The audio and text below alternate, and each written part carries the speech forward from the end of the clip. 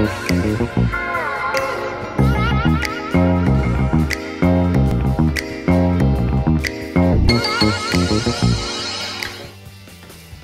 guys! Welcome back to my channel once again. Ako si Eric James Fronda. Yan. Here's another episode of Unboxing Time.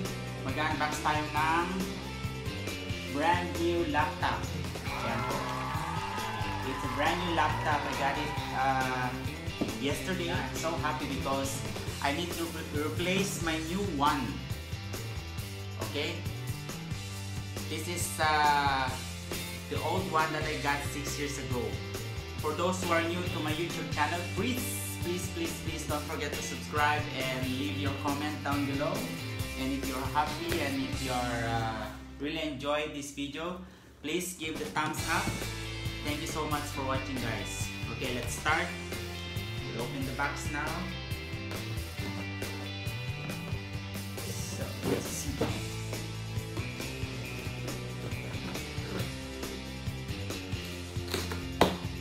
What's inside?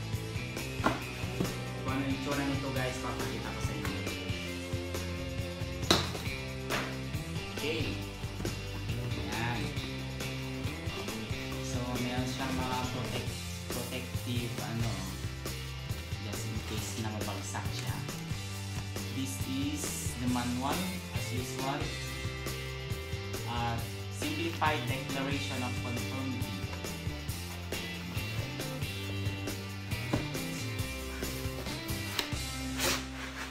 Ayan.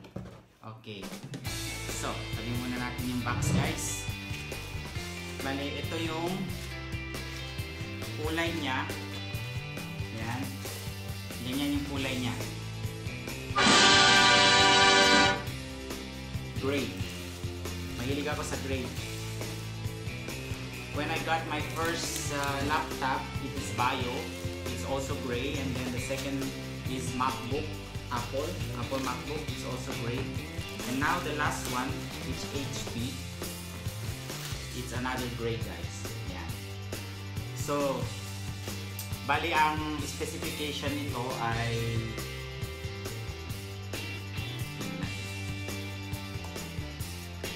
ang specification nito ay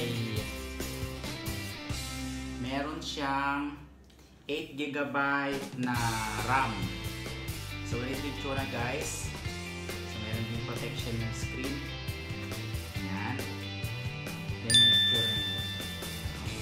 So, binili ko to para sa aking ah, editing, video editing lang.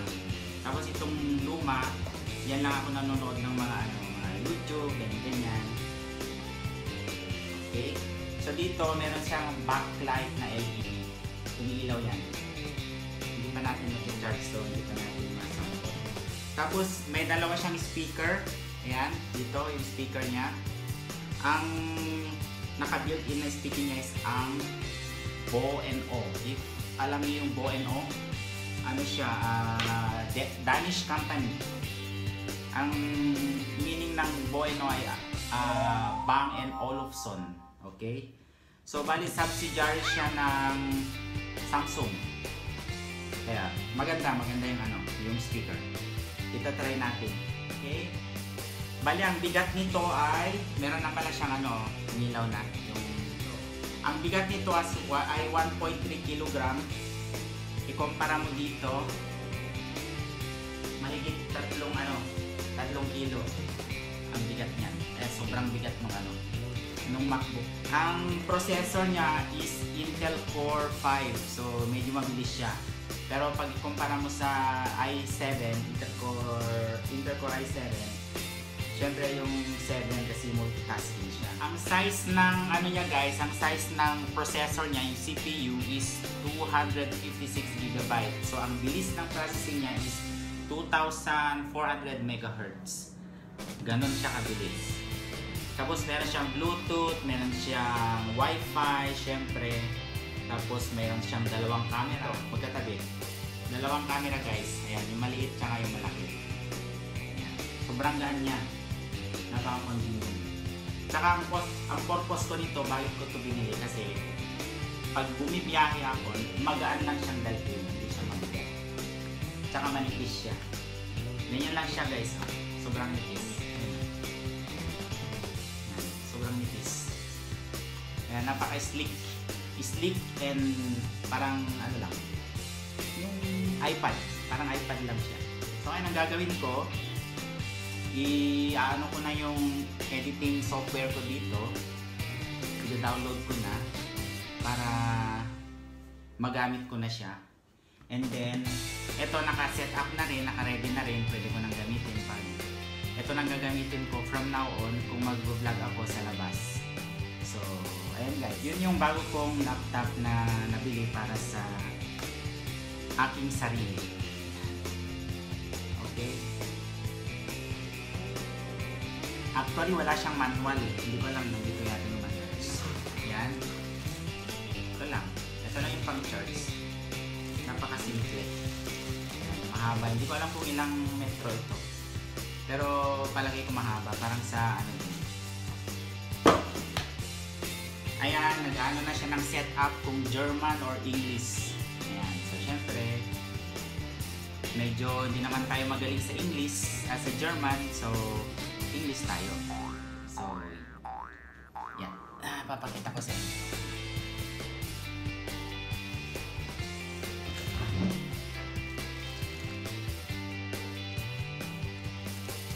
So, yes natin. Yan. Just a moment. Hi there. I'm Cortana, and I'm here to help. Nice. A little sign in here, a touch of Wi-Fi there and we'll have your PC ready for all you plan to do. Use your voice or the keyboard along the way, and if you'd like me to stay quiet, just select the little microphone icon towards the bottom of your screen. okay. If you need an assistive screen reader, press the Windows, Control and Enter keys at the same time to turn on the rater.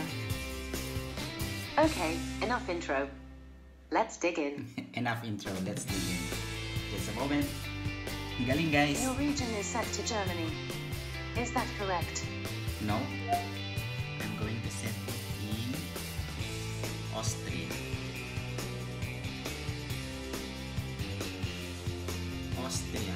Because I'm living in Austria.